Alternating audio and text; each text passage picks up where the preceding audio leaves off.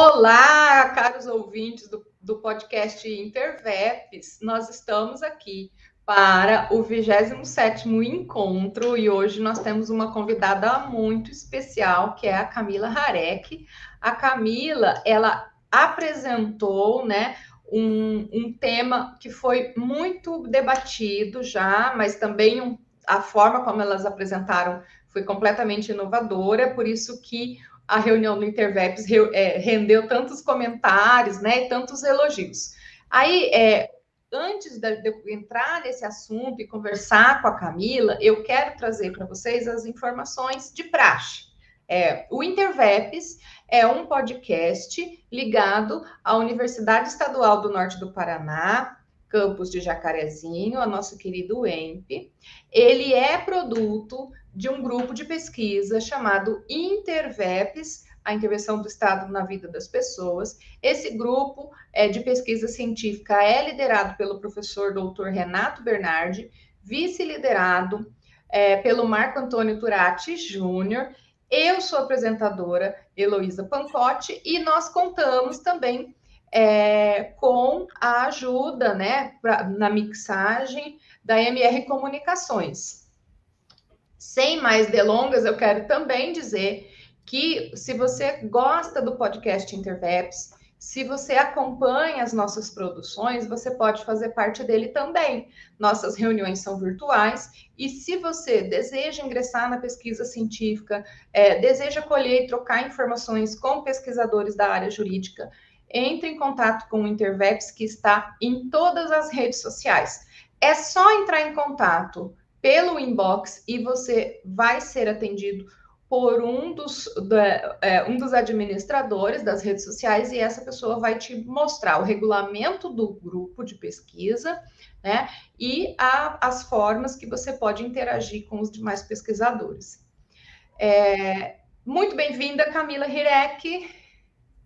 Eu quero, eu quero manifestar a minha satisfação de estar aqui contigo é, para falar né, sobre a questão das mulheres encarceradas, para trazer esse, esse, esse assunto que é extremamente relevante, né?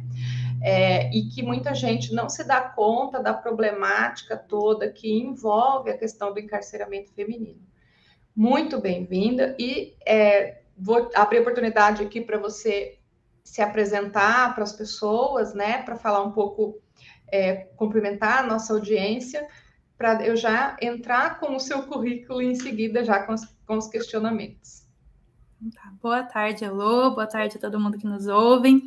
Bem, primeiramente eu gostaria de agradecer o convite, a oportunidade, também ao Interveps, né, por nos proporcionar o estudo e a discussão de temas que são tão relevantes e necessários né, para a evolução da nossa sociedade, como é o caso do encarceramento feminino. Então, eu vou falar um pouco sobre a Camila, né? Como é que a Camila iniciou na pesquisa no Interveps? A Camila é mestranda em ciência jurídica, então ela faz parte do nosso grupo de mestrado. É, ela, aqui na, na, na, Universidade do Norte do Paraná, é, ela é especialista é, nos estudos de lei geral de proteção de dados. Ela também tem especialização em direito da seguridade social ela fez essa, essa especialização pelo Legale. Beijo, Edinho. ela é bacharel em Direito pelas Faculdades Integradas de é, Ourinhos, né? Um, Fio, né? Unifio. Ela também é licenciada em Letras em Espanhol pela UEMP e ela faz parte do grupo Interveps. Também a Camila, ela é orientanda do professor Renato Bernardi. Nós temos isso em comum, Camila. Nós somos Ai. ambas orientandas do professor Bernardi. O meu orientador, na verdade, é o Luiz Fernando. ah, é? Uhum. Ah, professor Luiz Fernando Casmir Isaac. Uhum. Ah, legal. Ah, não, tá certo. Eu vi aqui que a, o Intervex é liderado pelo professor Renato, né? E você é. Então, fica aqui, né? Um abraço também para o professor Luiz Fernando Casmir Isaac. E ligada ao EMP, né? O Luiz Fernando tem um livro excelente sobre terrorismo, pela editora Juruá. Quem estiver interessado em bibliografia científica da área.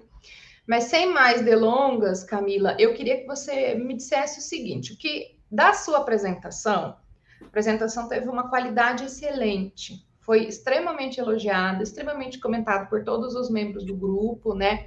Mas, como você é líder, foi você que elaborou o projeto pedagógico, eu acredito que juntamente com a Nanda, né? Da, da, da Fernanda Matos, da Nanda, para apresentar para a gente. Então, eu queria primeiro saber, porque isso é uma dúvida dos pesquisadores, como vocês construíram essa apresentação? Qual foi o percurso metodológico? Porque é, vocês se utilizaram de alguns recursos, esses recursos chamaram muito a atenção das pessoas, né? Então, eu queria que você dissesse um pouco sobre esse processo de construir um início de uma pesquisa científica. Ok. Eu, então, primeiro, na verdade, a primeira coisa que nós pensamos foi que, como o nosso grupo de pesquisa, né, tem uma relação com a arte, foi como nós conseguiríamos é, encaixar esse tema que é tão importante, que é o encarceramento feminino, dentro da arte. E aí, em primeiro momento, então, nós conseguimos localizar um documentário, que foi o documentário Flores do Cárcere. Em seguida, é, nós continuamos ainda nessa busca para fazer mais essa, é, mais essa intersecção né, de, de temas e encontramos também o poema da Cecília Meirelles, né, o poema Prisão. E a partir disso, a gente definiu então os tópicos que seriam mais importantes para a gente desenvolver dentro da nossa pesquisa. Então, nós é, decidimos fazermos uma introdução que foi quando nós começamos com a leitura do poema e seguimos com a, é, com a opção de passar um trecho do documentário, que foi justamente porque, como nós estamos falando em silenciamento de mulheres, nós pensamos, para a gente começar a falar sobre elas, a gente precisa da voz. E, e aí aquela situação, né? Quando é, uma mulher fala, principalmente em situação de cárcere, ela não está falando sobre ela, está falando é, na voz de tantas outras mulheres, né? Então, é, nós decidimos, então, iniciar nossa introdução com a leitura do poema, seguida, então, dessa voz, né, dessas mulheres, através do, dos depoimentos que tem no documentário. E, na segui em seguida, nós optamos por demonstrar a realidade do sistema prisional, trazendo dados estatísticos, né, que, que salvo engano, foram usados todos os, os CISDEPEN, devido ao Infopem Mulheres estar um pouco desatualizado, né? Já faz um, um bocadinho de anos aí que, que a gente não tem atualização da situação que está. Partimos então para falar sobre seletividade penal, sobre interseccionalidade de gênero e também sobre a situação da mãe, da, das mulheres que são mães no cárcere, né? Porque há uma grande quantidade de mulheres que são, são mães, né? E, e há, há muitos relatos de violações sobre isso. Então, nós decidimos, então, nós optamos né, por alguns pontos que nós achávamos mais interessantes abordar, partindo, claro, dessa, dessa voz que a gente deu para essas mulheres, né, dessas violações que eram relatadas, e também dos dados estatísticos. E aí nós concluímos também é, a nossa apresentação com mais um trecho do documentário para poder falar um pouco sobre a vida também das mulheres no pós-cárcere. Então, essa foi a, a trilha que a gente que a gente traçou. Então, a gente quis mostrar desde o início do cárcere até o pós-cárcere, né? De uma forma é, abrangente, mas também de uma forma rápida, né? De uma forma que a gente conseguisse falar tudo e, e não esgotasse o, o tempo de apresentação. É, então, eu, eu queria só fazer um adendo para os espectadores que o Infopen é um sistema de informação sobre o sistema prisional, né, sobre o sistema penitenciário. Então, é, ele, é, essa base de dados do governo federal é, e também tem no governo dos estados, né? Cada um vinculado a um, a um sistema prisional. Essas bases de dados, elas estão disponíveis para pesquisa, e foi com base nessa base de dados, né, nessa, nessa fonte secundária de informações, que a Camila é, e os seus orientandos, né, a, a Fernanda Matos, que é, uma, olha, a Fernanda é uma das pessoas que faz com que metodologia seja um assunto fácil, né? É, então, foi com base nisso que elas traçaram a apresentação. Outra coisa que eu acho importante a gente avisar é que esse ano nós teremos e já estamos às voltas com o DIRSIM. E por isso que eu perguntei sobre a forma como vocês estabeleceram a pesquisa, já, é, já que vocês já trouxeram para a gente, né, o sistema de vocês é, é, fazerem essa correlação entre pesquisa científica e manifestações artísticas, né? Eu já aproveitei o gancho para a gente falar do DIRSIM, que é o mais tradicional evento científico da UEMP. Ele vai acontecer esse ano, na sua sétima edição do Direito e Cinema, né? Começou como Direito e Cinema, mas hoje a gente, é, é, a gente traz todo, todo tipo né, de correlação científica que possa haver em pesquisa científica e qualquer manifestação artística. É, e o DIRSIM vai acontecer no dia 25, 26 e 27 de outubro. É, é, nesse, na sede né, da, do campus Jacarezinho, é, no campus de Ciências Jurídicas, lá em Jacarezinho, e você precisa fazer a inscrição. E o site do DIRSIM, ele já está no ar. Para quê? Porque você a inscrição é feita por lotes, as vagas são limitadas, né? E você já tem que fazer inscrição se você tem ideia de submeter um trabalho. Esse trabalho é, vai ser, que pode ser um pôster, tem várias formas de você é, participar. Como é, congressista, né, na condição de, de, de, de espectador, mas também participar das oficinas, é, também apresentar pôster, artigos científicos que podem ser aprimorados, né, ele vai ser revisado pelos pares, é, e depois, se aprovado, ele passa a é, integrar né, um, um rol de artigos a serem é, expostos, né, apresentados pelos seus autores, e aí os colegas dos grupos de pesquisa temáticos, eles vão poder analisar e oferecer contribuições a essa pesquisa, para que ela seja aprimorada e publicada, né, para fazer parte dos estudos da comunidade científica das ciências jurídicas.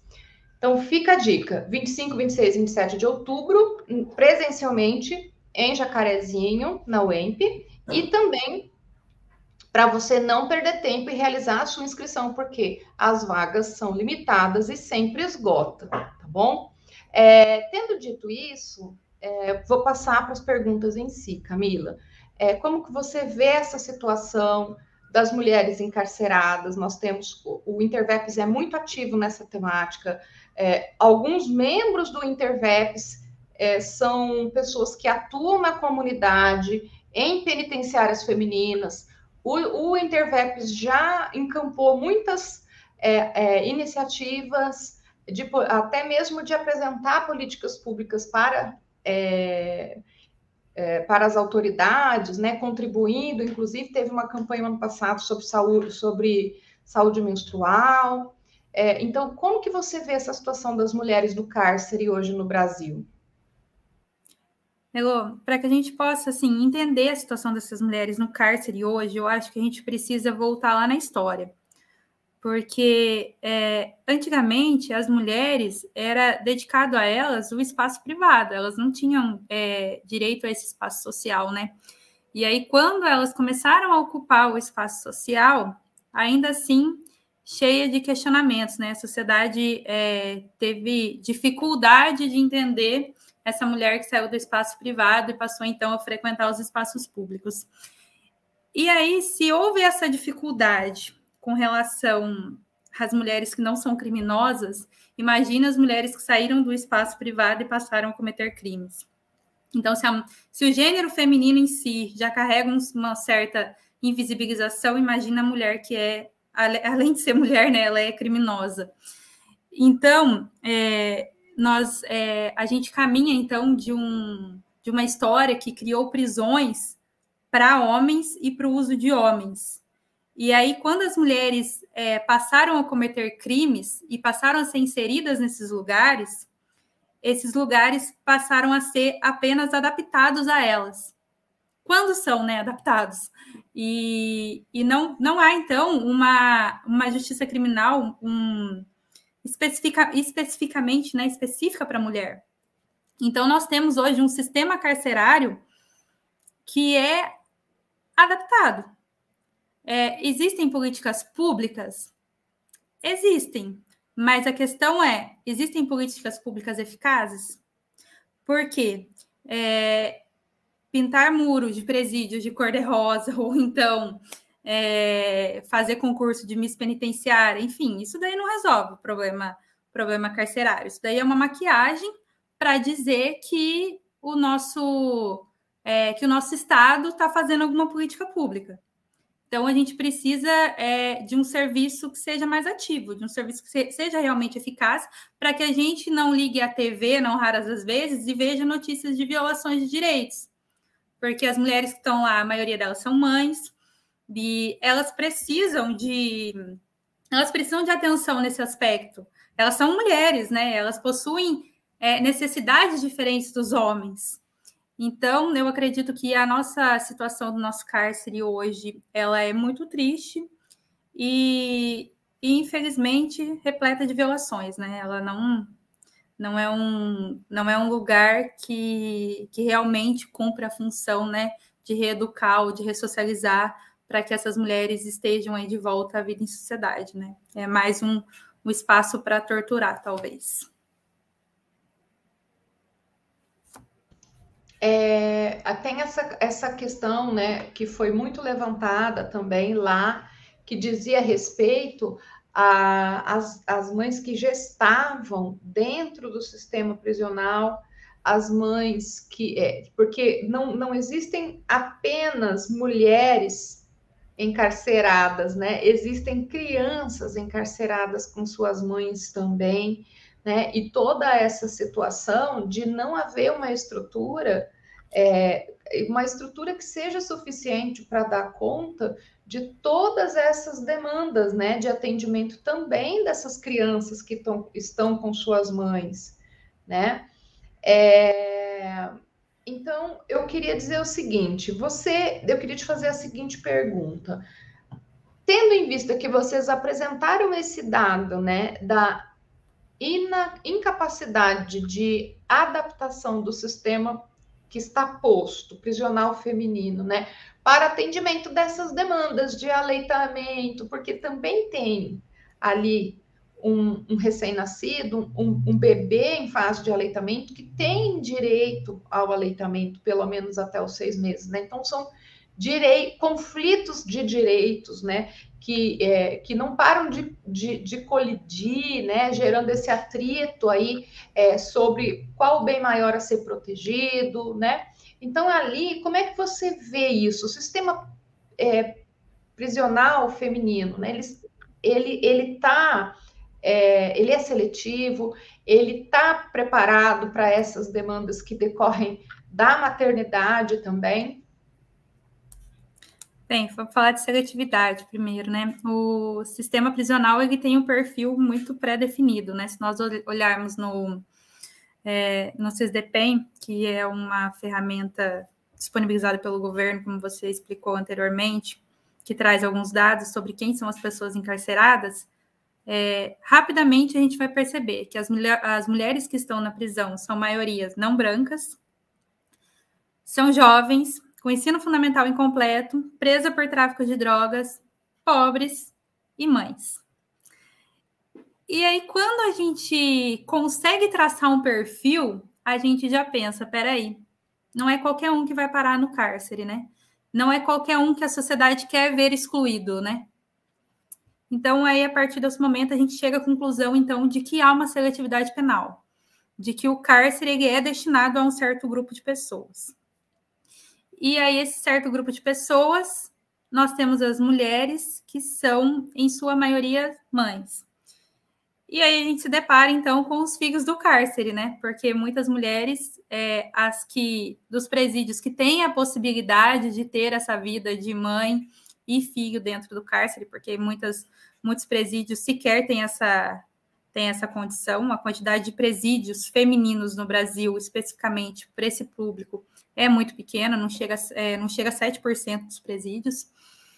Então, os que existem, as condições, em sua maioria, não são favoráveis para a criação de uma, é, de uma criança, né, para fornecer tudo que ela teria direito.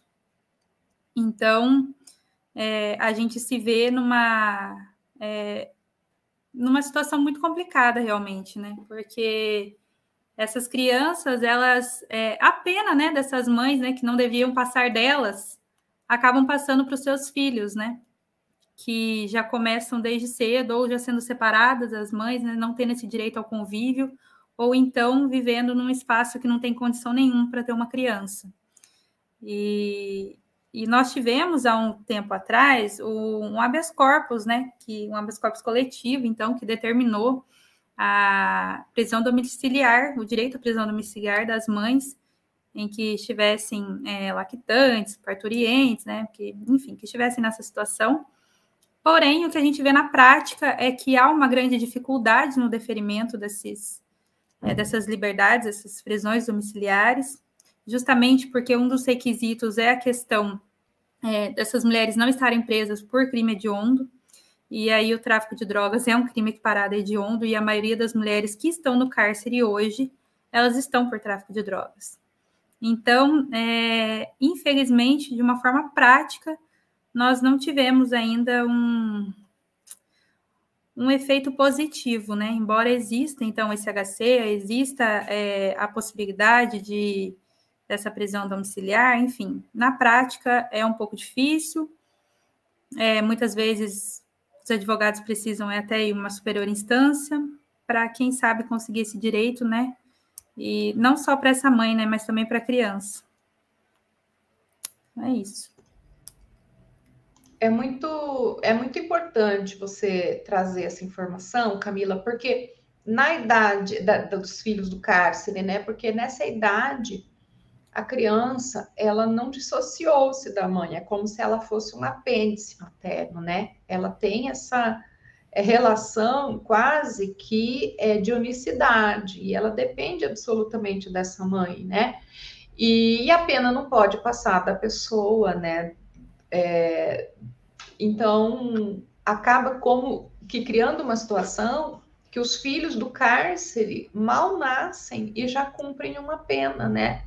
E, enfim, e eu achei que vocês trouxeram essa situação com uma, uma lucidez muito grande. Por isso que acho que muitas pesquisas elas podem sair dessas apresentações, sabe?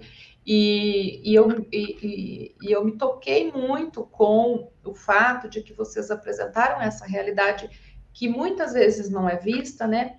Especificamente também no caso da, dessas mulheres que ficam em situação de desamparo do Estado, né, é, mas também das, do seu meio social, né? É, eu lembro, eu me lembro da apresentação de vocês, vocês falaram sobre mulheres no cárcere que não recebem visitas, né? Não recebem visitas, então elas são abandonadas é, num sistema que não é capacitado para atender as demandas daquela, da, daquele público-alvo, né? Público-alvo, não sei se essa palavra é boa o suficiente, mas é as demandas da população carcerária feminina. E também gerando aí uma situação de que existem muitas crianças encarceradas com suas mães e que o, a, a, a, existe toda essa demora né, para permissão do, do puerpério, de, pelo menos é, do afastamento com tornozeleira eletrônica para cumprir esse puerpério nas suas residências, né? Você vê algum futuro, Camila? O que, que você vê no futuro para o sistema prisional feminino? Então, infelizmente, hoje a gente está caminhando de forma negativa para o nosso futuro. A gente não está conseguindo ver um futuro melhor. É claro que muita coisa já mudou do que era antes, mas a passos muito lentos. Eu acho que se nós queremos um futuro melhor, um mundo melhor, é, a gente precisa pensar nessa população que é excluída. E aí eu não falo só no pós-cárcere, né? Eu falo no pré-cárcere também, né? Porque, como eu falei anteriormente, existe um perfil de pessoas que são selecionadas para o cárcere. E, infelizmente, se a gente, se essas pessoas não tiverem oportunidade de vida, elas vão continuar sendo aliciadas por criminosos vão entrar no, na, na, na, criminalidade e vai para onde? Dentro do, do, sistema prisional. E aí o sistema prisional, se não apresenta condições é, de atender às necessidades específicas né, dessas mulheres, se ele não educa, quando, ele, quando ela retorna para a sociedade, a própria sociedade ela não aceita é, essa pessoa de volta. A própria sociedade ela não quer fornecer, por exemplo, um emprego para uma ex-presidiária, pelo que ela carrega, pelo transcurso de vida dela que vem antes, né? Então, e aí o que, que acaba acontecendo, né? Essa mulher, que na maioria das vezes é mãe, precisa colocar comida dentro de casa, ela é aliciada pelo crime de novo, e ela vê no crime, novamente, uma forma fácil para ela conseguir dinheiro. E aí ela vai ser presa de novo, porque há pesquisas que indicam que a situação da mulher, a mulher ela desenvolve, a maioria delas, atividade dentro do crime que possui um risco muito maior de ser presa do que os homens, que normalmente ocupam um cargo de chefia, então existe também dentro do crime a questão da divisão sexual do trabalho. E aí continua aquele círculo vicioso. Então é é falta de emprego, crime, crime, cárcere. Cárcere não reeduca, volta para a sociedade, não consegue emprego, enfim. É, eu então eu acredito que para que a gente para que a gente possa enxergar um futuro melhor dentro do, dos presídios, enfim, para essas mulheres que são encarceradas, eu acho que o primeiro ponto é política pública eficaz, não é uma política pública, ah, eu estou fazendo a estou propondo a política pública tal. Ainda que no papel ela seja muito bonita, é, precisa ver se na prática ela está efetivamente, sendo efetivamente boa. Então, como está o nosso nível de reincidência no nosso país? Para a gente poder falar que realmente aquilo está funcionando. Como está a taxa de encarceramento? Está diminuindo? Então, eu acredito que é, esses são os quesitos para que a gente possa falar num futuro melhor. Contudo, eu acho que a gente precisa caminhar de uma forma mais rápida, porque senão, infelizmente, a gente não vai conseguir ver essa realidade. No ponto de vista previdenciário, uma vez eu vi uma pesquisa, é, que eu não vou me lembrar a autoria agora, mas ela dizia o seguinte, que o benefício de auxílio reclusão, ele tinha o condão de diminuir a reincidência da geração seguinte no cárcere. Então, por exemplo, os filhos do cárcere, né, poderiam voltar para o cárcere é, na condição de, crime, é, de, delin, é, de, de criminosos, de delinquentes no futuro. É, é, o benefício, a, a garantia da renda que o benefício de auxílio reclusão dava para a família da pessoa que está encarcerada, ela tinha o condão de romper com, é, com essa estigmatização intergeracional que fazia com que o filho do encarcerado também fosse é, encarcerado. Aí, com a, com a MP 871 lá em 2019, veio a alteração da regra do auxílio reclusão e ela passou, primeiro, a diminuir o valor da renda do benefício e, segundo, também é, a, a, a tornar o critério de elegibilidade para o acesso ao benefício mais restrito. Então, hoje, no sistema carcerário, é, quase nós não temos concessões. A, a, o, número de o número de benefícios de auxílio reclusão já era muito baixo, porque para ter acesso a esse benefício você tem que ostentar a qualidade de segurado. E grande maioria da população carcerária brasileira justamente delinque por falta de renda, né, oriunda do trabalho. E então, quer dizer, é um problema social que vai se retroalimentando. É, e uma das políticas públicas mais eficientes, não para evitar a delinquência, mas para evitar que o, a, o, a, pena não passasse do, do apenado, para que, que os seus descendentes não sofressem com é, os efeitos da estigmatização de uma pessoa oriunda do sistema prisional ou que está no sistema prisional, essa principal política foi é, praticamente extinta, né? Porque a regra afunilou, né? Tanto o direito, é, a gente chama de é, negativa pela burocracia, né? A burocracia estatal é tamanha e a regra foi se tornando tão restritiva que hoje nós não temos. Já era diminuto o número de concessões e hoje nós temos um número ainda mais, é, é ainda menor, ainda inferior. É, então é difícil, né, você pensar nisso, porque nós estamos vivendo justamente um período de restrição de direitos, né? Um benefício que está estabelecido no nosso sistema jurídico há mais de 60 anos, hoje ele foi praticamente extinto pela burocracia, pelo arrefecimento das regras de acesso, é, e nós temos aí um futuro, se nós tínhamos antes trabalhos acadêmicos que indicavam a diminuição da delinquência dos descendentes dos, dos oriundos do sistema prisional pela percepção do auxílio reclusão, é, é, agora o futuro já é um pouco mais nebuloso, justamente pelo estrangulamento dessa renda. À, à medida que a norma vai restringindo direitos, né, a família sem saída se vê na iminência da delinquência também.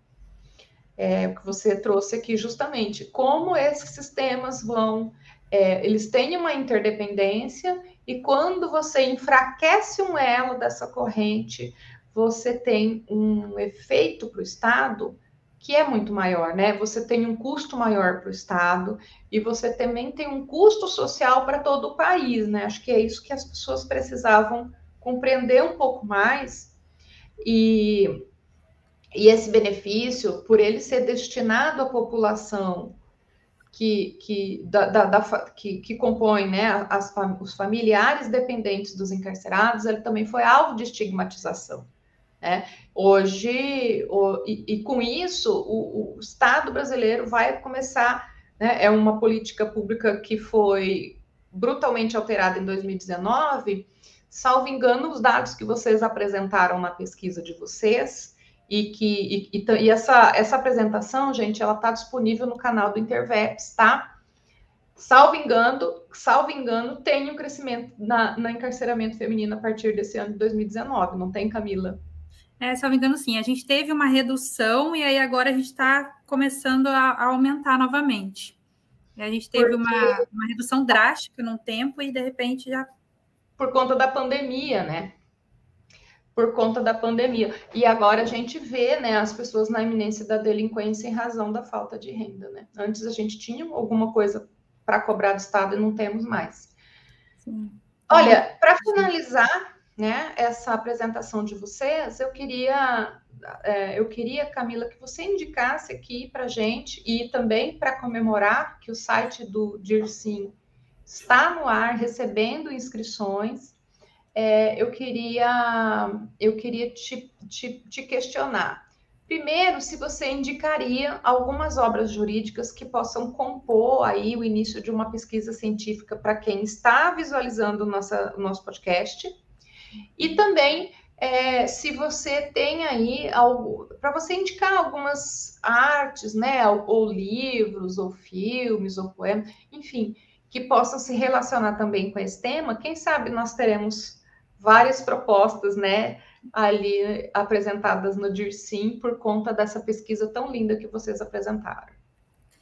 Elô, olha, é, de obras, eu indicaria a obra Cadeia, Relato sobre Mulheres, da Débora Diniz, a, a obra da Olga Espinosa, que é A Mulher Encarcerada em Face do Poder Punitivo, Presos que Menstruam, a, pro, a Brutal Vida das Mulheres Tratadas como Homens nas Prisões Brasileiras, que é da Nana Queiroz, é inclusive bem famosa, a gente falou sobre essa obra também na nossa apresentação.